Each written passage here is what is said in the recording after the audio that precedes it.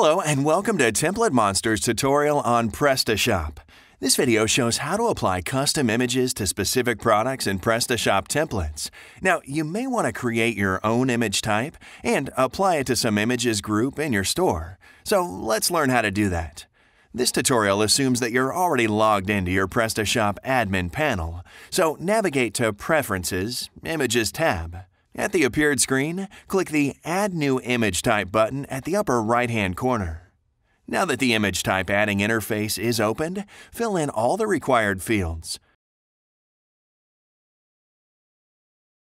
Make sure to set the Products option to Yes, while having other options set to No. Click the Save button at the bottom right-hand corner to apply changes. The custom image type is successfully added. Let's say that you want to apply newly created image type to new arrivals block on homepage. Find out product's image class using Firebug extension for Firefox or Developers Tool of any other browser. Use Total Commander or other FTP client that allows searching through files and search for specific class text. The found file is blocknewproducts.tpl. Open it for editing and look for the similar line of code there. Pay attention to the src attribute where the image type is defined. Replace the tm underscore small underscore default text with previously created image type name, custom underscore default.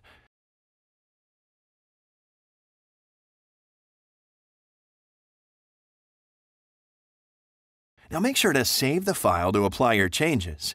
It's very important to perform thumbnails regeneration in order to have changes applied to the store's front end. So, navigate back to the Images Preferences interface in PrestaShop Admin Panel. Scroll down to the very bottom of the page and click Regenerate Images button in the bottom right corner. Once you receive a success message, navigate to your storefront page and refresh it to see your changes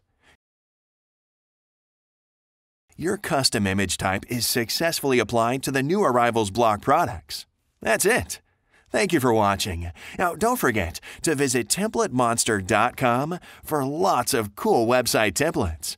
Also, if you want a text version of the tutorial, check out this video's description for the link.